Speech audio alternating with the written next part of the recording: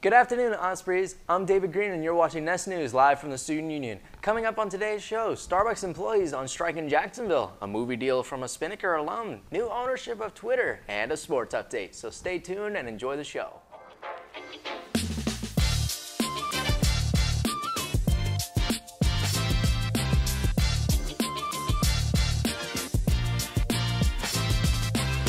Starbucks employees with Starbucks Workers United, a workers union, went on strike on Thursday at two store locations in Jacksonville, joining thousands of other workers across the country on one of the company's busiest days of the holiday season.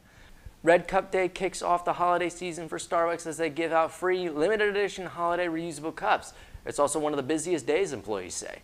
Mason Boykin, a 24-year-old University of North Florida graduate, shift manager, and union leader at the San Jose Starbucks, told Spinnaker it's a general strike demanding that Starbucks meet us at the bargaining table and bargain in good faith. Protesters handed out their own red cups with the Starbucks Workers United logo and held signs. At other Starbucks locations across America, workers said they're, seeing, they're seeking better pay, more consistent schedules, and higher staffing levels in busy stores, the Associated Press reported. It's been nearly four decades since Joe Palmer was on the University of North Florida campus. Now, Palmer is a Spinnaker alumni, award-winning reporter, Navy veteran, and author who recently landed a movie deal with a New York City indie producer for his novel, A Mariner's Tale. A Mariner's Tale is a story about the search for family, self and identity, redemption, and the hope that most of us are salvageable are the biggest takeaways from the book, Palmer told Spinnaker. The book was optioned by Monica Tidwell, who says she was already been to the movie in the theater behind her eyes. Of course, there's no guarantee the book will ever make it to the big screen, but both Tidwell and Palmer are confident in its potential. Multi-billionaire and CEO of Tesla Motors, Elon Musk officially assumed ownership of the popular social media site Twitter on October 27th after months of trying to back out of the agreement. Since Musk assumed ownership, he has laid off nearly half of its employees due to the millions of dollars the company was losing daily. This also resulted in Musk's newest addition to Twitter, a $7.99 monthly subscription for users to have access to exclusive features, including the notorious blue checkmark that indicates verification.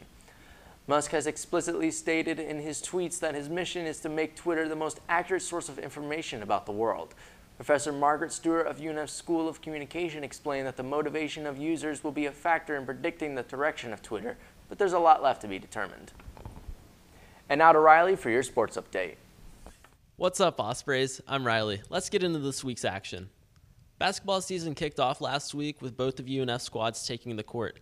The women had their slate cut short thanks to Hurricane Nicole, but were able to pick up a 29 point win in their opener against Warner University.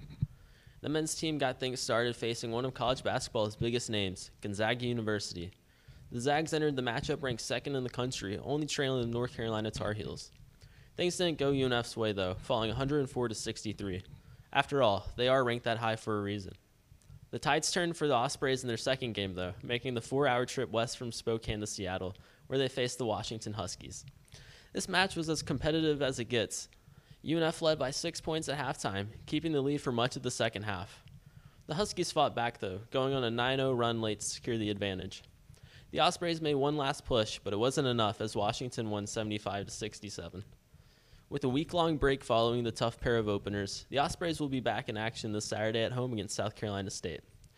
The game will be the first in the newly renovated UNF Arena and will begin at 5 p.m.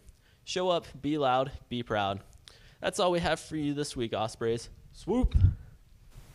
That's just about all we have for you today, Ospreys. For all things Spinnaker, check out our website at unfspinnaker.com. Also, make sure to follow us on our Instagram at unfspinnaker and subscribe to the YouTube channel for more content. As always, thank you so much for watching. I'm David Green, and we'll see you next week on Spinnaker's Nest News.